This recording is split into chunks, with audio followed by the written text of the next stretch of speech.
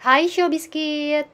Hubungan Ko Kyun Soo dan Choi Ung berubah menjadi lebih intim di drama Our Beloved Summer episode 8. Kim Dami dan Choi Woo Sik melakukan adegan ciuman di bawah guyuran air hujan.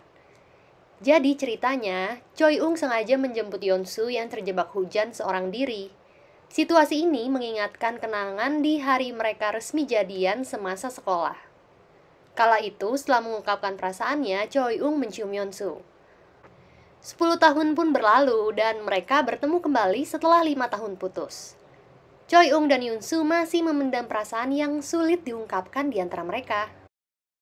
Waktu pacaran, Yoon Soo pernah berkata kalau mereka tidak akan pernah putus. Karena ketika bertengkar dan putus, Choi Ung akan datang kembali di hadapannya. Bila begitu, maka Yoon Soo tidak akan melepaskan Choi Ung lagi ending Our Beloved Summer episode 8 menjadi awal yang baru bagi hubungan Choi Ung dan Soo.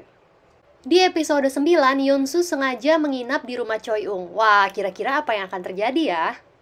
Totalnya ada 16 episode Our Beloved Summer yang tayang setiap hari Senin dan Selasa di SBS. Hmm, kira-kira mereka bakal balikan lagi gak ya? Silahkan tulis pendapat kamu di kolom komentar. Thank you for watching this video.